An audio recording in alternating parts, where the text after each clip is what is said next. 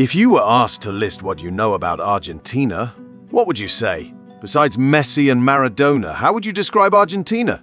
Do you think of the world's poorest neighborhoods, or perhaps the tango dance born from the lower social classes? Maybe Argentina evokes thoughts of a place where you can find friendly people on a tight budget and enjoy an endless nightlife. Or perhaps you're a food enthusiast and you're well aware of the asado barbecue frenzy in this country, where some of the world's most delicious beef is raised despite not caring about money in your pocket. Argentina is the land of those who can enjoy meat and dance wildly. However, Argentina is not limited to just these aspects. It's a country that goes beyond all of these. It stretches down towards the southern tip of the world, where it's often referred to as the end of the world, all the way to Ushuaia, where the sun doesn't shine as you head further south. For instance, Ushuaia indeed holds the title of the southernmost city in the world. Below this, there are living spaces, but they are primarily military bases or research stations for scientists. In other words, Argentina is located just above the world's largest and massive glaciers. Glaciers lies just a bit further south. So, let's start with football and try to understand the details of life in Argentina. Oh.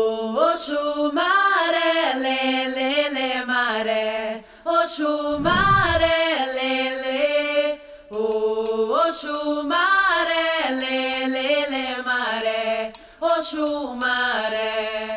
Firstly, this is truly a place where football legends are born and the roots of world stars grow. You probably know that Messi spent most of his football life in Spain, Barcelona. What about Maradona? Do you know exactly where the Maradona legend played her football in Argentina? Here's the Boca Juniors Stadium where Maradona shone, and this is their biggest rivals, River Plate. They are considered the world's fieriest and biggest derby.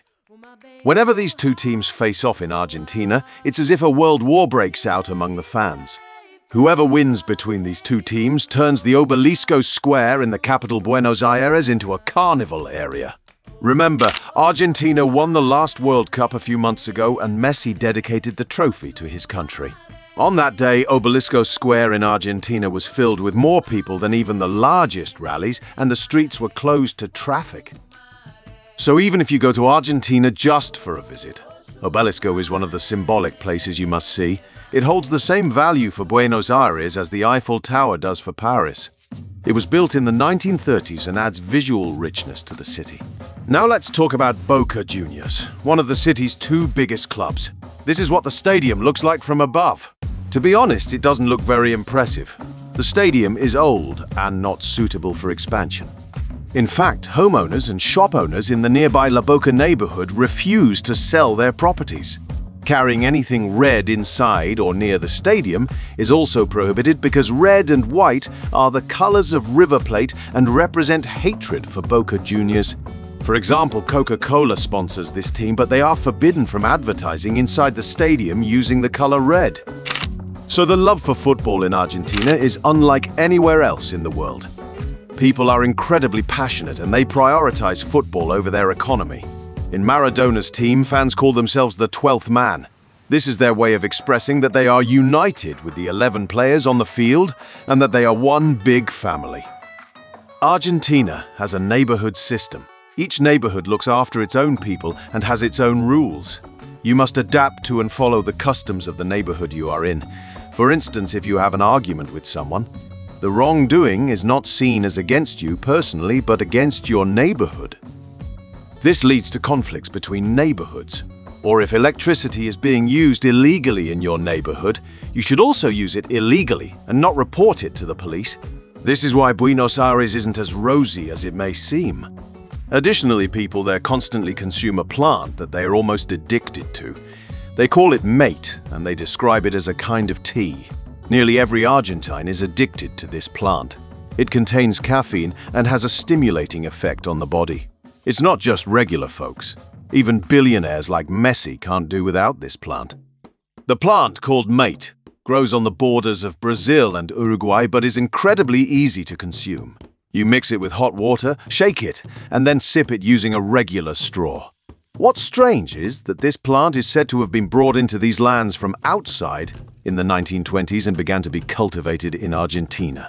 Today, the people who consume this plant the most after Argentina are Syrians. Following them are Jordanians and Lebanese. Another thing that Argentines are very proud of is their caramel. When you look at it from afar, you might think it's a kind of peanut butter. But no, it's caramel, and according to Argentines, the most delicious caramel in Latin America is produced in Argentina. It tastes just like regular caramel, but much denser and lingers in your mouth. You can find these Argentine caramels called dulce de leche in almost any store. Another mouth-watering experience in the country is their barbecue called asado. Perhaps you've seen restaurants called asado in your own country. Well, their origins are actually in Argentina. This country, which feeds its cows with some of the world's finest grass, ranks third in the list of the most delicious beef. They have created a national dish called asado, by grilling the back part of the cow, which is one of the most delicious parts of the animal. They separate the meat from the bones and enjoy it alongside every dish, including hamburgers.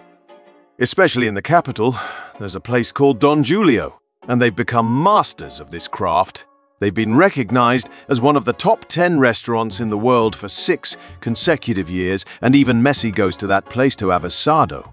They use the world's finest cattle feed, produced by a Saudi Arabian company called Al Marai, and they slaughter the cattle fed with these feeds to serve their customers. If you walk the streets of Argentina and look closely at the faces of the people, you'll see that many of them resemble Europeans. Indeed, 51% of Argentinians are actually of Italian descent. The rest are composed of Spaniards who settled in these lands after the colonial years and the local Native Americans. They identify themselves as Argentinians and don't have an obsession with their origins. The wealthier ones among them live by the Tigre Canal in the capital. Expensive houses have been built around this canal for the wealthy in Buenos Aires and they are encouraged to live here. When viewed from above, the city is divided by the canal and connected to each other by artificial bridges. In this way, it's somewhat reminiscent of Amsterdam. This canal that divides the city is not artificial. It's a natural river. One sad detail in the capital is the segregation of the rich in one area and the poor in another. This class distinction exists in Argentina as it does everywhere in the world. For example, right next to the train tracks, there's a neighborhood called Villa 31, and they consider it equivalent to the favelas in Brazil. In fact, it's considered the most dangerous and poorest neighborhood in Argentina. The narrow streets are filled with police officers, and you should leave all your valuables in your hotel before entering. Every street corner is filled with unsightly cables and unpainted brick houses. The cables have been randomly thrown there by the poor locals. Because with those cables, they're actually stealing electricity from the neighboring districts. Also, shanties are stacked on top of each other and are different family lives on each floor. There's no internal stair system for them to move up and down within the building. Therefore, they go up and down the floors using fire escape stairs. If you need protection from a police officer, you can only shoot comfortably in that way. But when you look at their faces, they actually look innocent. Because they're forced to live there due to impossibilities. It's evident in everything they do. The only common point that brings together the poor and the rich under the same roof in the country is, of course, football. Until 1930, Argentina was one of the world's wealthiest countries. However, since 2001, it has been battling hyperinflation. The children of those who migrated to this country during its affluent periods are now seeking ways to move away from Argentina in pursuit of a better economy. In the capital, you'll find black market money changers on every street corner, shouting cambio cambio. Their business is to exchange dollars at more appealing rates than the official exchange rate making a profit. As a result, Argentina, along with Venezuela and Zimbabwe, leads the list of countries where currency is at its least valuable. One US dollar officially equals 820 pesos, and salaries in the country are only around $400. In the black market, however, you can exchange $1 for up to 1,000 pesos. If you make a credit card purchase at a store in Argentina, you're making a big mistake. This is because using a credit card will result in your money being withdrawn at the official rate. In Argentina, you should exchange your dollars for a higher rate with black market money changers and make cash purchases in stores. But do Argentinians give up the pleasures of life despite their terrible economy? Of course not. They even have a dance born from the lower class, and they call it tango.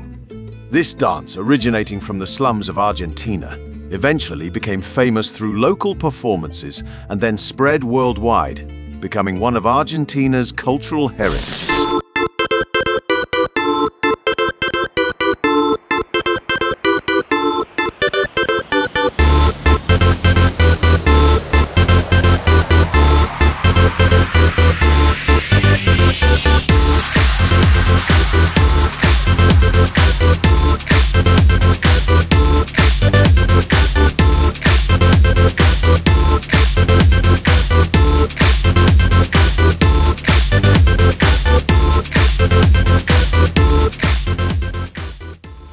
If tango seems too dull for you, Buenos Aires nightlife is more than enough to take your mind off all your troubles. The claim that the most well-groomed people in Latin America are in Argentina also appears to be true, despite the devalued currency. Moreover, despite the currency's low value, there are always lines at nightclubs. Even around 3 in the morning, people in Argentina don't seem to want to stop the fun. It seems that Argentinians, despite all the negatives, don't neglect music and glamorous lives. This is the grave of San Martin, whom Argentinians consider their father. In his time, he liberated Argentina, Peru and Chile from the Spaniards, ensuring the freedom of these three countries. As we approach the end of the video, we can't forget to talk about Argentina and mention Patagonia. This is the southernmost region of Chile and Argentina. The world's southernmost city is right here, and trips to Antarctica are often planned from this region. It's a place that's desolate, quiet and tranquil, far away from people and technology, nestled among glaciers and frozen mountains. From above, it resembles the Himalayas, and in the midst of all this natural beauty, this city in the midst of the aridness offers a sign of life. Just imagine living right next to glaciers. And the Andes Mountains, they truly look magnificent and have a soothing effect on one's soul. Argentina is an affordable and fun country to live in. However, it might be one of the last countries you'd consider going to in order to make a living. Let's discuss their daily challenges and the way they live. First and foremost, when you think of Argentina, you should picture a vast expanse of land.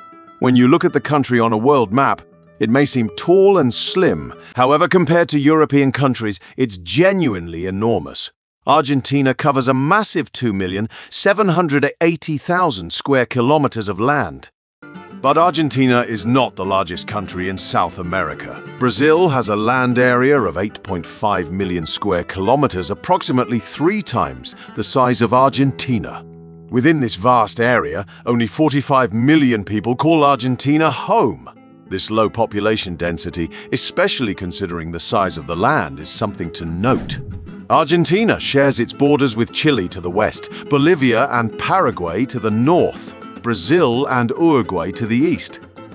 The country operates under a presidential system within a federal republic. This means it isn't governed solely by the words of one individual. The capital city of the country is Buenos Aires, one of the most popular and frequently mentioned cities in Argentina. If you wish to explore Argentina, you can easily find flights from all over the world to Argentina. However, most of these flights involve layovers. This means that airlines typically gather passengers from various parts of the world and then drop you all off in Argentina simultaneously. The good news is that Argentina doesn't require visas for travelers from many countries. Now, when we delve into the details of life in the country, it's important to note that there is no distinct Argentine language spoken in Argentina. Spanish is the official language of Argentina. While the middle-aged and older population hardly knows English, it is more commonly spoken by the younger generation. The reason for the prevalence of Spanish in the country is of course rooted in Spain's history of having a profit-focused economic system during its colonization. During those years, the first colonies were established in Argentina, initiating a long period of exploitation that lasted until the 1800s. Over time, even their own populations were transported to these lands. As a result, the Spanish language became deeply ingrained in the fabric of this country, and language assimilation took place. In 1976, Argentina found itself in a dispute with the British. Both Argentina and the UK made rights over the nearby Falkland Islands. In the war that followed, Argentina suffered significant losses and was defeated by the British. As a result, despite more than 40 years having passed since the war, the people of Argentina have not given up their claim on the Falkland Islands. They consider the British to be occupying their own lands and have turned this into a national struggle. While the British claim to be the first to discover the Falkland Islands, Argentina maintains that these islands were inherited from the Spanish. However, if you were to visit the Falkland Islands today and observe the local population, all 3,000 islanders consider themselves British and support the UK. The sustainability of life on the island is in fact maintained with financial support from the UK. I've provided a detailed account of the Falkland issue to suggest that if you ever find yourself in Argentina, it's best to avoid discussing the Falklands. People become uneasy and agitated when this issue comes up, especially never exhibit behaviors that praise the UK and Argentina, or at the very least, avoid walking around in a UK jersey. On the other hand, Argentina has bigger problems. The country has been plagued by never-ending political instability and economic issues for years, reducing people's prosperity and their quality of life.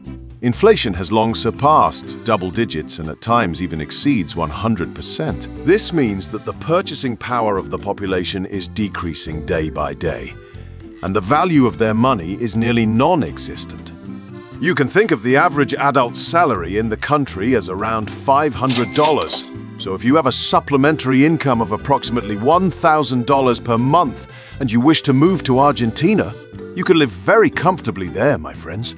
People are managing to get by with even $300.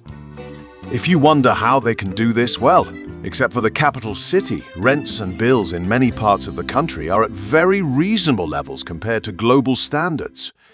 For instance, if you want to rent a one-bedroom apartment in Mar del Plata, a coastal city in Argentina, you'll find the average rent to be around $150. If you plan to live alone, you can even rent a studio apartment for as low as $100. The total cost for your electricity, water, gas and internet bills will vary between 50 and $60 at the most. Of course, if you have a larger family, expenses increase accordingly. The monthly grocery shopping for a two-person household typically ranges from 70 to $80. At least there's a balance in the country. So if people earn $400, the rent for their house doesn't become $400. In contrast, when you look at economically struggling countries around the world today, you find people earning the minimum wage and yet having to pay more than the minimum wage for rent. It seems that the Argentine government, although unable to find a permanent solution to inflation, has managed to adjust living costs according to people's incomes. Nevertheless, the government continues to print money constantly and this crisis doesn't seem to end. People try to convert their pesos into dollars as much as possible and save. That's because the dollar never loses against the peso and provides a sense of security to the Argentine people. For example, if someone who wants to buy a house saves in pesos, they can never afford the house they want because the peso's value is constantly increasing. However, if they save in dollars, the house's price remains the same.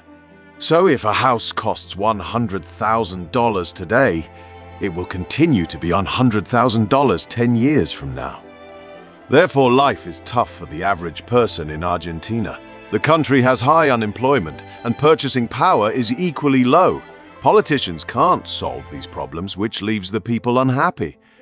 This increasing unhappiness among the people further fuels chaos and rising crime rates in the country.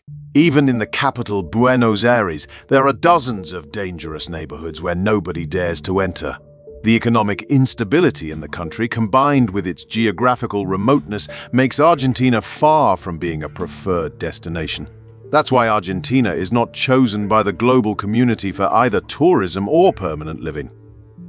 In fact, not only does Argentina not receive immigration from abroad, but its own citizens also leave the country when they succeed in any field. The football sector is one of the most vivid examples of this. From a young age, the biggest dream of the kids in this country is to become a footballer like Messi, Maradona, and dozens of other great Argentine stars and achieve a rich life in Europe.